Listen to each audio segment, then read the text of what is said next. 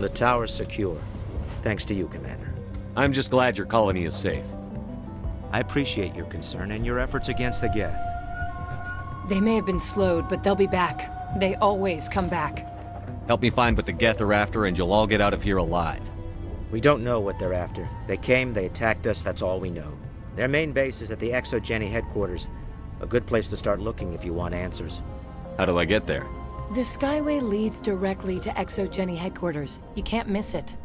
Of course, there's an army of Geth between here and there. I didn't expect this would be easy.